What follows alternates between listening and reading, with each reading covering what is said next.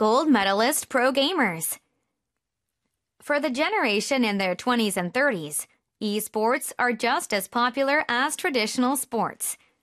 Reflecting this popularity, esports were included as an official event at the 19th Asian Games in Hangzhou. The most popular game is League of Legends, LoL, an online game where teams of five players compete against each other in a virtual space. The Asian Games featured participants from 15 countries. Korea performed flawlessly, not losing a single set from the preliminaries to the finals. In the finals, they took down their rival, China, to win the gold medal. I want to applaud our national team who gave their best despite the short preparation period and ultimately topped the podium. Gold medalist pro gamers. For the generation in their 20s and 30s, esports are just as popular as traditional sports. Reflecting this popularity, esports were included as an official event at the 19th Asian Games in Hangzhou. The most popular game is League of Legends, LoL, an online game where teams of five players compete against each other in a virtual space.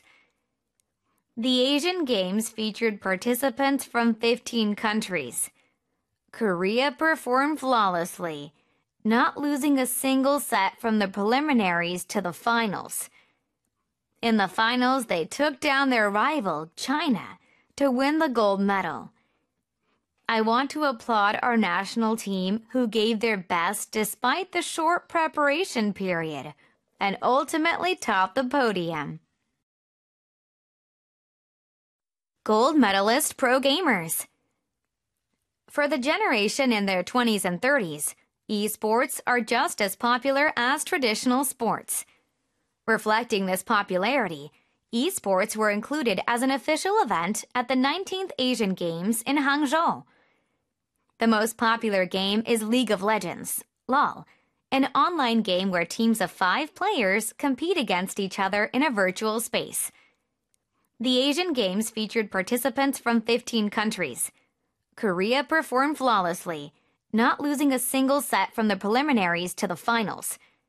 In the finals, they took down their rival, China, to win the gold medal.